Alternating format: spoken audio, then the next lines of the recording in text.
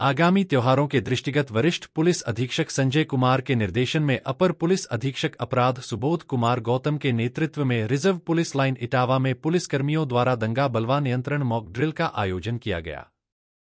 द्वारा दंगा बलवा नियंत्रण मॉक ड्रिल प्रतिभाग कर रहे पुलिसकर्मियों को भविष्य में कभी भी किसी भी परिस्थिति में दंगों एवं बलवाओं में आक्रोशित भीड़ से स्वयं को बचाव करते हुए भीड़ को नियंत्रित करने के बारे में आवश्यक दिशा निर्देश दिए गए।